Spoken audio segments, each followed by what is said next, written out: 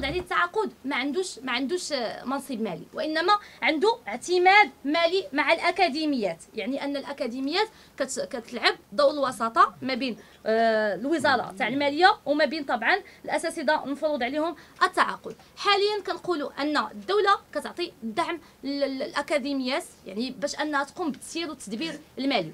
نتساءل مع الدولة يعني بعد يعني وفق الرؤية الاستراتيجية اللي جات 2015 2030 بعد ما غيتم الرفع ديال الدعم تاع الأكا... على الأكاديميات ما مصير الاساتذه المفروض عليهم التعاقد. ما مصير تلميذ.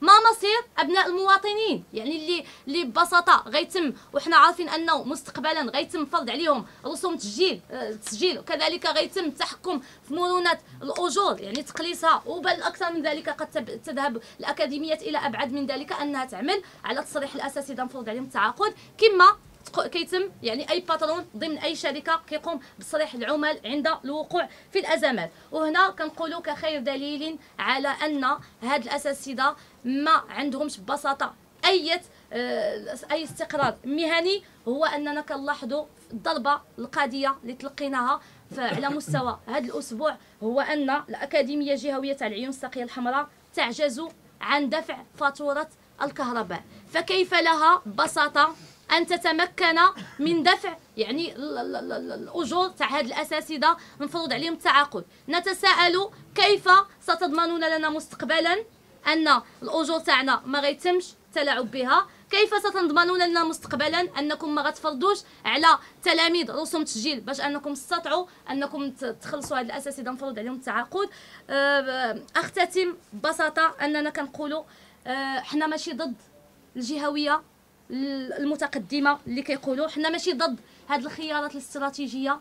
حنا ببساطة مع أي خيار استراتيجي غادي يقود البلاد ولكن كنقولوا لكم في التدبير والتسيير الإداري وليس في التدبير والتسيير المالي. لأن ببساطة حنا عارفين أن هذا الخيار الاستراتيجي الهدف منه هو خوصصه قطاع التعليم هو التحكم في كتلة الأجور. وكنقولوا كحنا كاساتذه مفروض علينا التعاقد أننا سنستمر في الشارع الذي سيبقى فيصلا بيننا وبين وزارة التربية الوطنية. إلى حين تحقيق مطالبنا العادلة والمشروعة المتمثلة في إسقاط هذا مخطط التعاقد المغلف بقانون شكلي وكذلك لإدماج في النظام الأساسي لموظفي وزارة التربية الوطنية وإرجاع كافة المضرورين والمنصبين الحكومة صادقت على مجموعة من الأمور من بينها هذه الإجراءات وبأن من سينفذها هي الأكاديميات شخص مدير الأكاديمية وقال في واحد الجملة بسيطة تلخص الهشاشة اللي كنتكلموا عليها اليوم.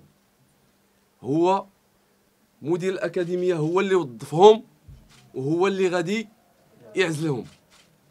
هذه الجملة ولوحدها تؤكد بأن لا زلنا في نفس الوضع اللي كنا كناقشوا قبل ما تجي التعديلات ما يسمى بالتعديلات الجديدة.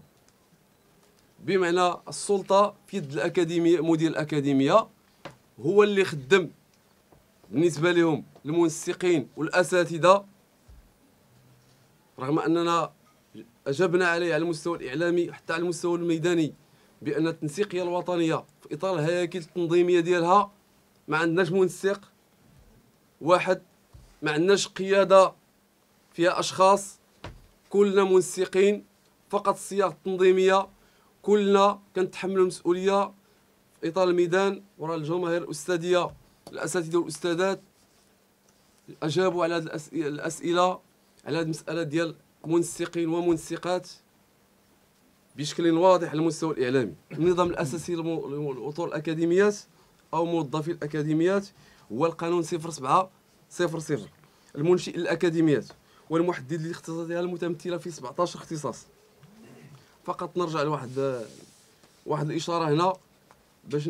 لأنه ما يدور الآن من نقاش واخا ما شارش لها وزير التربية الوطنية في الندوة ولكن كاينة مجموعة من المنابر الاعلاميه آه، حتى بالنقاش ديال اللجان البرلمانية واللقاءات اللي دارتهم التنسيقية مع اللجان البرلمانية وغيشير لهم كذلك غنش- غنشيروا لهم في محور آخر نقاش ديال مرسوم وغير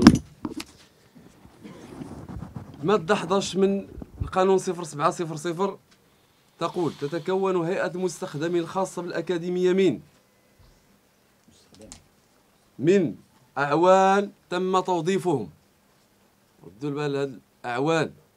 كنتكلموا على أعوان. تم توظيفهم من لدى الأكاديمية طبقا لنظام أساسي خاص يحدد بمرسوم. ثم موظفين وأعوان في وضعية إلحاق. الثانية حنا كنتكلموا على موظفين وأعوان في وضعية إلحاق بالتالي هنا ما كنتكلموش علينا حنا. كنتكلموا على إلى جينا نتكلموا على الأولى. إذا أعوان.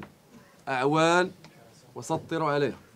ثم تم توظيفهم من لدى الأكاديمية طبقا لنظام أساسي خاص. إلا كانوا كيتكلموا على علينا في هذا الإطار ديال الأعوان تم توظيفهم طبقا لنظام أساسي اللي هو هذا النظام الأساسي لأطر الأكاديميات.